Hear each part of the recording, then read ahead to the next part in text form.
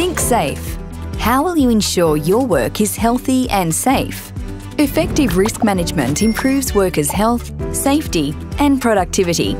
Eliminating and controlling workplace risks helps to prevent and reduce the number and severity of workplace injuries and illnesses.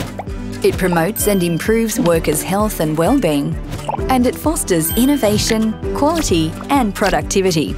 How will you ensure your work is healthy and safe this October and beyond?